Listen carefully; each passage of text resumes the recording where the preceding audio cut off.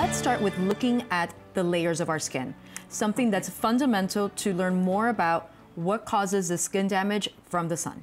Okay, so we have three different layers of the skin that we need to think about.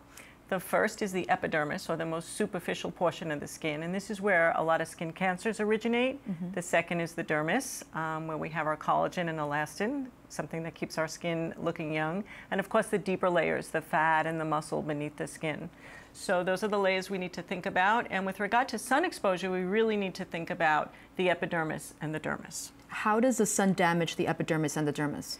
So basically, the sun rays, the UVB and UVA mm -hmm. rays, um, damage the DNA in the cells. And once they do that, our body tries to correct that, tries to fix it, but it can't fix it all. So it fixes what it can, and what it can fix creates mutations or abnormalities in our cells that cause them to grow abnormally and develop skin cancers. Now, for those that don't know, what is the difference between a UVB and a UVA ray?